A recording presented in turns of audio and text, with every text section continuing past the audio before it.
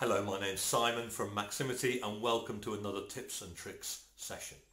In today's video, what I want to show you is how to have a dynamic drop down.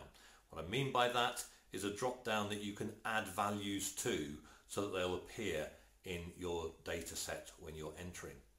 We do that using a combination of tables and named ranges. Let's take a look.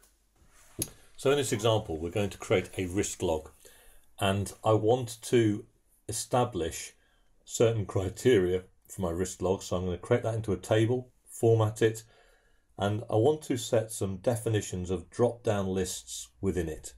I'm specifically going to do a drop-down list for the different scores. So I'm just going to list those out, scores 1 to 4, and status. And you'll notice I've turned these both areas into tables.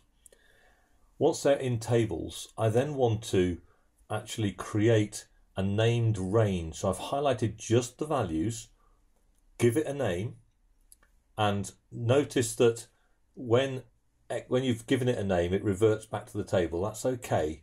You just highlight the values and give it a name. And what I want you to notice here is that um, if I add a value to that name range, so at the moment I've got new and I've got closed, if I add a value, when I select that name range, it actually includes the extended line.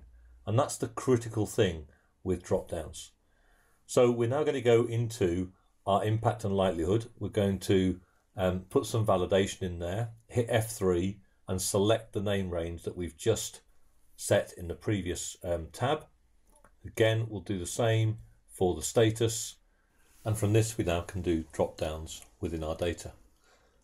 So we can see the status.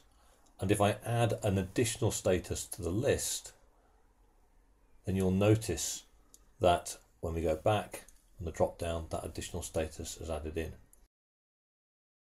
Well, thank you for joining me in this tips and tricks video. I hope you found it useful. Um, we clearly train in all of the Microsoft products, so, so get in touch if you need any help with that.